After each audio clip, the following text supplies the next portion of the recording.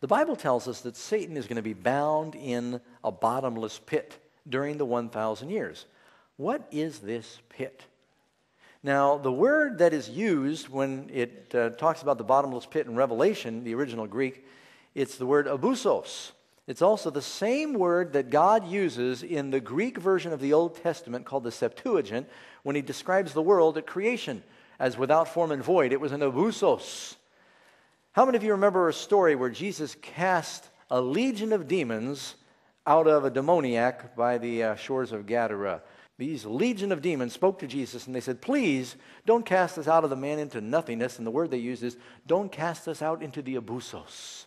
The very same word in Greek that is translated as bottomless pit in, in Revelation.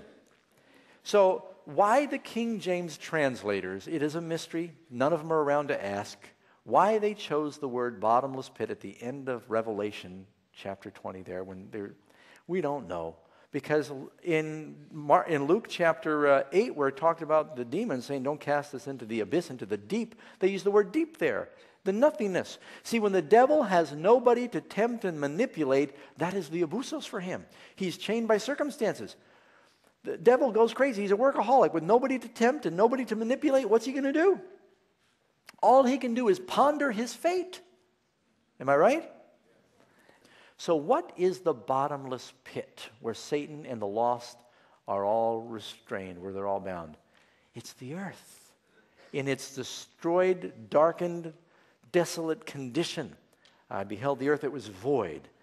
And all they see on every side are bleached bones and destruction and broken down cities and cracked earth, and it is just darkness and cold. There is no light, the Bible says. For 1,000 years, he will look at the results of his rebellion. Why is God giving him that time to do that? Why not just destroy him first time around? Well, one thing, God is long suffering. He's demonstrating that. Even after Satan has a thousand years to consider the results of his rebellion, does he change? Does he ever repent? And I think sometimes we may underestimate the high exalted position that Lucifer had before he fell. He was the highest of God's created beings, uh, very powerful. Sometimes we underestimate the power of the devil. I don't like to dwell on it, but you need to know something about your enemy. And he was a mighty angel. Angels are ministering spirits. Don't forget, one angel of the Lord, 185,000 Assyrians died when he struck them. And again, when an angel of the Lord uh, came to roll away the tomb, 100 Roman soldiers were terrified to death, the Bible tells us. Satan was the leader of the angels. God is going to execute Lucifer. These other beings in heaven knew him when he was good. God didn't create him and he was suddenly born bad. It happened after a long time. We don't know how long Lucifer was. You know, you would have loved him back then if you knew him before he fell. Some people love him now. But he was really good. Bible says every good and perfect gift is from God. He was made perfect. The Bible says he was perfect in all his ways from the day he was created until iniquity was found in him. How long was that? I don't know. Think about this. It might have been a million years that Lucifer went through the universe and everyone hailed him and he was beautiful and nice and humble and, and God's going to destroy him now. After this 6,000 year rebellion, he is demonstrating to the whole universe, I have no alternative. And you'll see why in just a moment. So, during this period of time, Satan is confined to this planet to behold the results of his rebellion, and it is a very bleak thing to behold. Revelation 20, verse 4 says that there will be judgment going on in heaven during the 1,000 years. What for and who will participate in this heavenly judgment? Revelation 20, verse 4 And I saw thrones, and they sat upon them, and judgment was given to them. And they lived and reigned with Christ for a thousand years. Now let's ask an obvious question here. Are the redeemed who are living and reigning with Christ in their judgment, are they deciding at that point who is saved and lost? Obviously not, because that's already determined. Jesus says, Behold, I come, and my reward is with me to give to every man according as his work shall be. When he comes, rewards are determined. So we're not deciding who is saved and lost. The word judgment for the Hebrew mind, the writers of the Bible, meant much more. You ever heard a person say, they've got good judgment? Does that mean they walk around all day going, guilty, innocent, guilty, innocent? Is that what that means? No. It means that they evaluate things well and they make decisions, or they have good discernment. They say, that's true, that's not.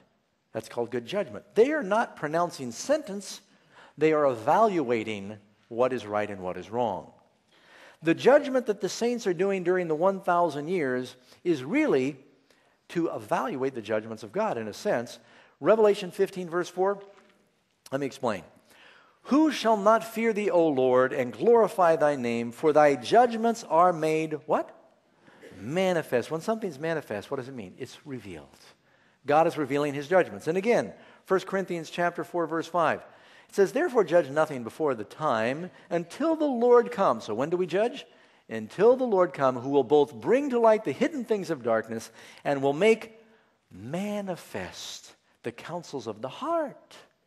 When, when we get to heaven, are all the tears going to be dried during the 1,000 years or after? It's not till you get to Revelation 21 that God wipes away the tears. You know, uh, suppose you get to heaven and someone you loved is not there.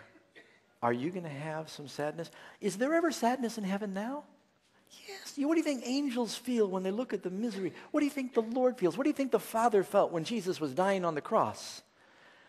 Heaven is intensely interested in what is happening here. Moses and Elijah are watching what's happening to the church, aren't they? They're very interested.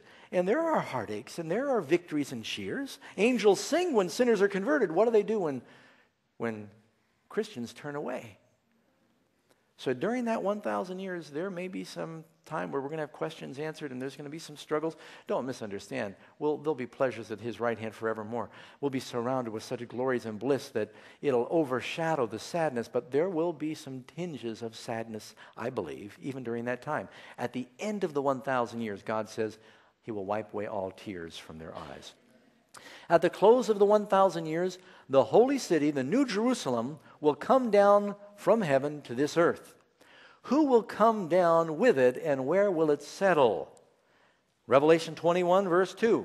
The Bible says, I, John, saw the holy city, the New Jerusalem, coming down from God out of heaven. So if we have been with God on the sea of glass in the New Jerusalem, then where do we spend the 1,000 years?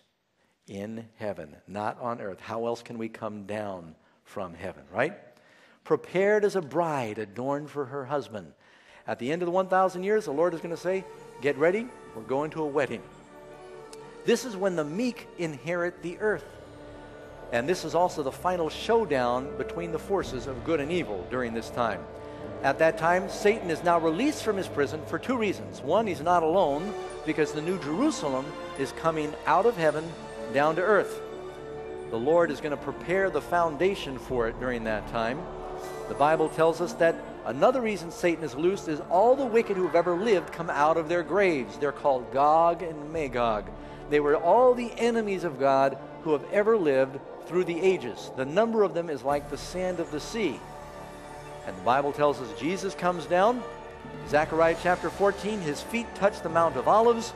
It splits in the middle, forms a great valley, prepares the foundation for the New Jerusalem, which then settles down in this new foundation the Lord has prepared, the very spot where Jesus left is where he comes back. Amen? Won't that be wonderful? What will happen to the wicked dead at this time, and how does this affect Satan? Revelation 25, we already read this. The rest of the dead do not live again until the thousand years are finished, which means what? They do live again when the thousand years are finished.